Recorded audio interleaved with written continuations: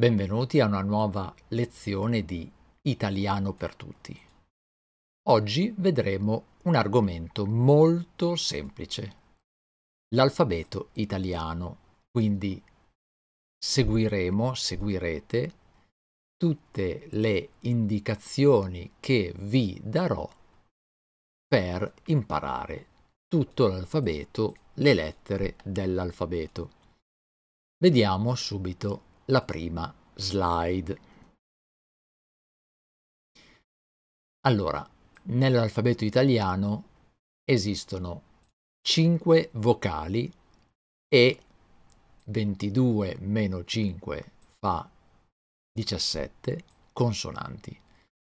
Ovviamente non appartengono in modo originario, distinto e ehm, proprio all'alfabeto italiano lettere straniere come la Y, la eh, X, la W o la J, però vengono usate, quindi noi nell'elenco le mettiamo le consideriamo. Saranno, credo, segnate in rosso, ma le vedremo dopo. Allora, quello che vedete è la lettera dell'alfabeto il nome della lettera, quindi come si dice questa lettera in italiano, e un esempio della parola che incomincia per la lettera A in questo caso.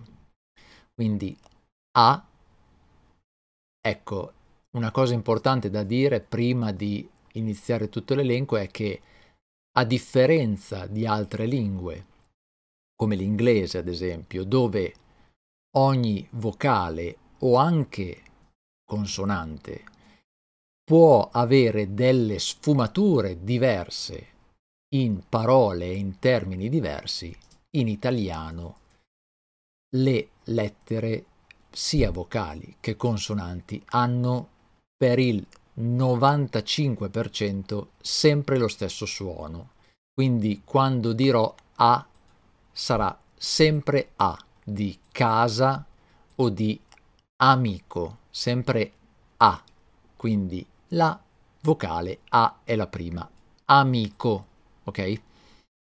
La B si chiama B, ovviamente scritto BI, e una parola che inizia con la B è bene. La C, la C ha eh, due modi di, ehm, di ovviamente di, di, di, essere accentata e come cibo o c, c, c, c, c, c, cibo o cane, quindi aperta o chiusa, c, c o c, c, c. Queste piccole differenze ovviamente sono rare eh, e ovviamente devono essere imparate per parole diverse, però sostanzialmente si dice sempre C, C di cane, C di cibo, ok? D di dono, di dono. E, e si dirà sempre E, non si dirà I, A, O, E, I, U, U, ma si dirà sempre E, e sì, la parola è estate, quindi estate. Passiamo alla seconda slide. F si scrive F con due F, in questo caso F raddoppiata e la parola è f, fuoco. G si scrive G, si chiama G questa lettera e le parole sono gelato o g, gatto, quindi g o g, quindi chiusa o aperta, come anche la C, allo stesso modo ce l'aveva, g tagliente e g più gutturale, di gatto, gelato o gatto. Poi, subito dopo, abbiamo la H, quindi la H è, vedete, eh, si, si scrive H con la A perché in realtà italiano, in italiano la H non si pronuncia, quindi o scriverla con la H davanti in realtà non avrebbe senso perché si dice comunque H e quando dico hotel non dico hotel, ma dico hotel, esattamente come se la H non esistesse.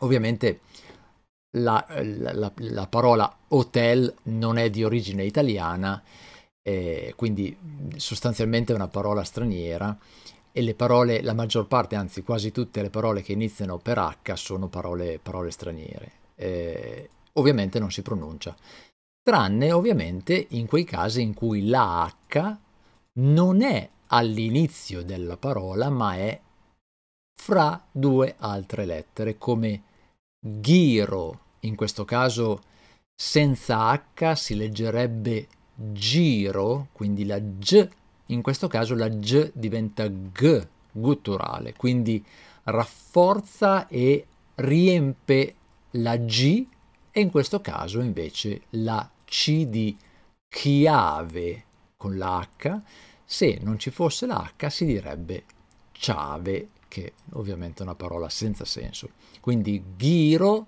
e chiave. La I si chiama I ed è semplice, eh, di idea. La J e si chiama J, vedete G-A-J, in italiano ad esempio è una parola eh, che non è italiana ma è eh, importata dall'estero, è jazz, J di jazz. In questo caso vedete che la lettera è in rosso perché nell'alfabeto italiano non esiste, non la citiamo, se io dovessi dirvi l'alfabeto fino a qui sarebbe A, B, C, D, E, F, G, H, I, L. Salterei direttamente alla L, passiamo alla prossima slide, vedete che la prossima è la L che è in blu. Però prima c'è anche la K, la K che si chiama K e ad esempio, anche questa una parola importata è koala con la K davanti. Come dicevamo, L, quindi si dice, si chiama questa lettera L e la parola è limone. La lettera M, M e la parola è mano, quindi M di mano. N uguale alla M, solo che è la N con due N come parola e la, come, come nome e la parola è nido, quindi N di nido. Poi abbiamo la O, un'altra, la, la, pen, la penultima vocale, la O di oca, ecco, come le altre, come la A, la E, la I, la O, si pronunciano sempre nello stesso modo. O sarà sempre O di oca. E passiamo alla prossima slide. P, P, P, P di parco. La Q, CU, in questo caso si dice Q, Q Di quadro. La R, quindi R. Eh, gli italiani pronunciano R a differenza ad esempio degli inglesi in modo molto raschiante. È molto usata la R in italiano con la, con la tremolio della lingua che per altre, per altre pronunce, per altre lingue è complicata, quindi bisogna esercitarsi molto, solo ad esempio semplicemente a pronunciare la lettera, perché R è già difficile per, per alcune lingue, quindi R di radio, radio, ok?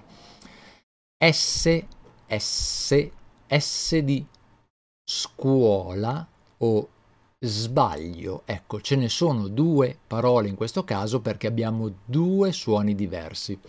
Abbiamo già visto la S, ripassate la lezione sulla S, in questo caso la differenza fra le due parole è scuola e z, z, più z, z, sbaglio, sbaglio, scuola, sbaglio. T, la T di torta, si scrive T, è il nome della, della lettera, e la parola torta.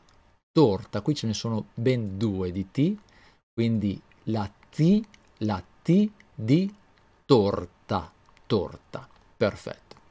Prossima slide è la U e in questo caso siamo all'ultima eh, vocale, la U e si pronuncerà sempre U, non sarà U, non sarà, eh, ma sarà sempre U, la U di uva, quindi U di uva.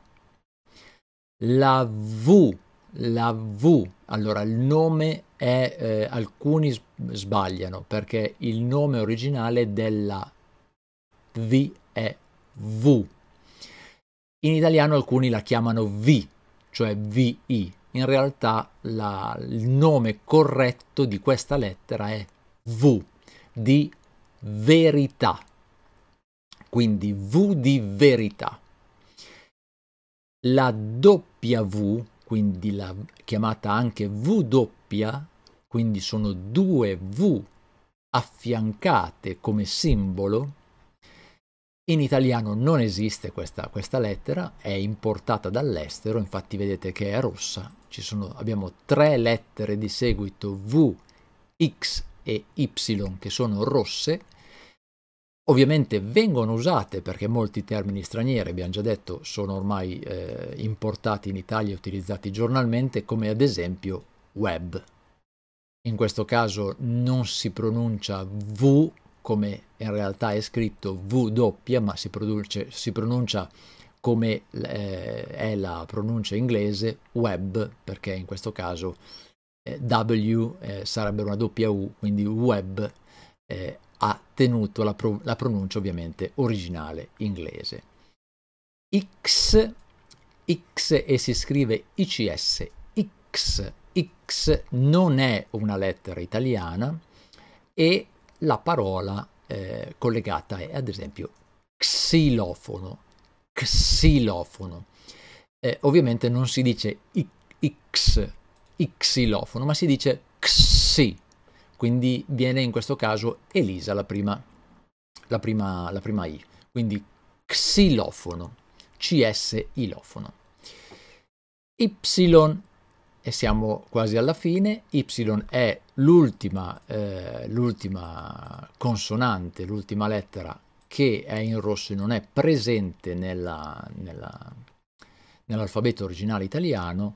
Eh, in questo caso Y si scrive esattamente come lo leggete, Y, e un, eh, un, un termine utilizzato, e anche questo importato, è yogurt in questo caso si pronuncia come una I. Molto spesso, nelle, ovviamente è una I, ma molto spesso eh, può subire qualche piccola variazione, però ovviamente sono, bisogna poi impararsela per ogni, per ogni parola. Eh, yogurt, quindi Y di yogurt. E siamo in fondo, l'ultima lettera dell'alfabeto italiano è la Z, quindi dalla A la prima alla Z che è l'ultima. Quindi Z, Z, Z di Z si chiama Z e eh, due, le due parole, in questo caso in esempio, sono zoo e marzo, quindi z, z e zo, zo. Abbiamo già visto la lezione sulla Z, quindi andatevi a ripassare le due diverse pronunce della Z, come anche le avevamo fatte per la lettera S e per altre. Bene, spero che vi sia servito, se volete posso ripetervi l'alfabeto così ve lo, ve lo memorizzate, riguardatevi ovviamente queste slide.